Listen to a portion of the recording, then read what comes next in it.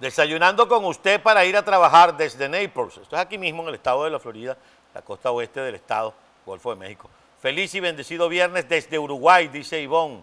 Después tenemos a Gladys que manda corazoncitos y bandera de Venezuela. Sigan, sigan, sigan, suscríbanse en nuestro canal YouTube y activen las notificaciones. Eso es una maravilla. Yo estoy activado, de pronto ando por la calle y clink, me llegó una notificación. ¿Cómo? ¡Clink! Arrancó Carla Angola, 8 de la noche. Y me, y me conecto con la, con la programación de EBTV. Vamos a tomar eh, nuevamente contacto con Venezuela. Ahí siguen nuestros compañeros Fabiola, Ruth y Madeline Palmar. Y es justamente con Ruth, desde el estado Carabobo, que iniciamos esta segunda parte del recorrido por nuestro país. Adelante Ruth, buenos días.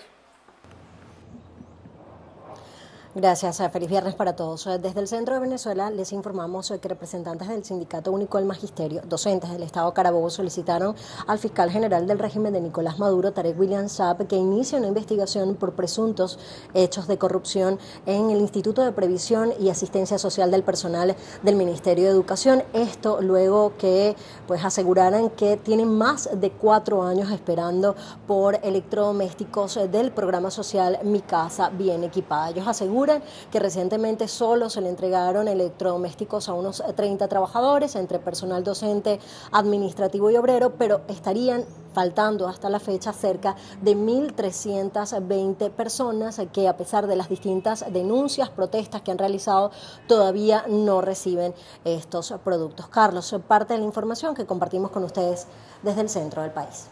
Gracias a Ruth Lara Castillo. Ahora nos vamos a Maracaibo allá en el estado Zulia. El reporte lo entrega nuestra compañera Madeline Palmar. Hola Made, buenos días. Hola Carlos, muy buenos días. Amanecemos en el Colegio de Médicos y es que esta institución a través del Tribunal Disciplinario citará a 19 médicos de la entidad zuliana por diversos delitos. El más común, el intrusismo, que se caracteriza justamente cuando un médico está ejerciendo en otra área para el cual no está capacitado y está calificado como medicina ilegal. el segundo delito, el cual están siendo citados, es por mal uso de las redes sociales donde se viola el código de ética al publicar fotografías que van en contra de la moral de los pacientes, así como también la violación al secreto médico. Estos 19 médicos ya habrían sido citados en varias oportunidades y en esta oportunidad se les estará entonces haciendo una investigación para determinar cuáles son las sanciones a las que serán sometidos. Carlos. Gracias a Madeline Palmar desde Maracaibo. Nos vamos ahora para cerrar este recorrido al estado Táchira. Ya está lista Fabiola Niño, ella nos reporta desde San Cristóbal. Hola Fabi, buenos días.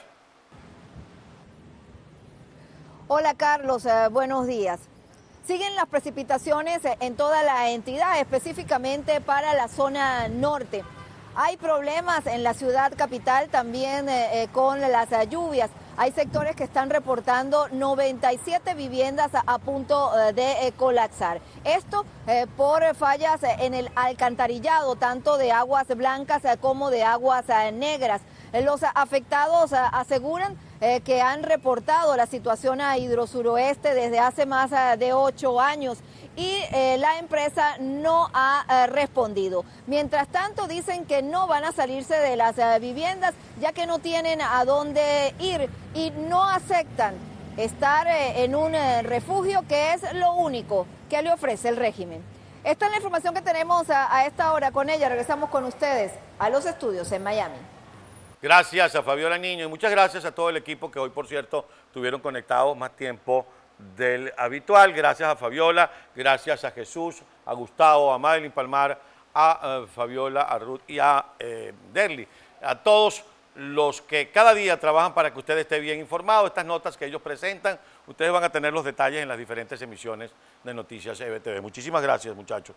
Bien, vamos a, bueno, sigo leyendo para ustedes. Electrodomésticos, que los compren, como hace, como hace todo el mundo.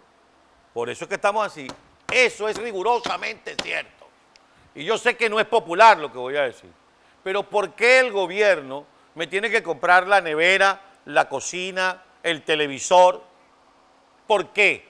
El gobierno lo que tiene es que crear, gerenciar el país para que yo me pueda ganar toda la cantidad de dinero que yo pueda producir y comprarme las neveras, las cocinas, los televisores que me dé la gana.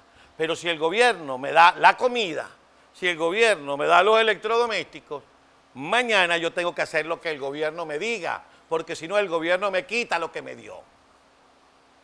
Y de eso se trata. No es que están preocupados por ti. Los buenos gobiernos no regalan. Los buenos gobiernos producen, generan condiciones para que la economía del país se active, para que cada ciudadano se gane con el sudor de su frente y pueda tener el nivel de vida que le dé la gana y no el que el gobierno le imponga. Así que estoy plenamente de acuerdo. Ah, no, que a mí no me dieron cocina, ¿y por qué te la tienen que dar? Lo que te tiene que dar condiciones, un buen salario, un país pujante, con una economía productiva que te permita ganarte el salario de acuerdo a lo que trabajas. De eso se trata. Pero no el populismo. Que me digan a esta gente que les dieron mi casa equipada si le dieron el título de propiedad. No. Le dieron una asignación y le firmaron un papel como ocupante de la casa. Vienen las elecciones en el 2024. Pausa y regresamos.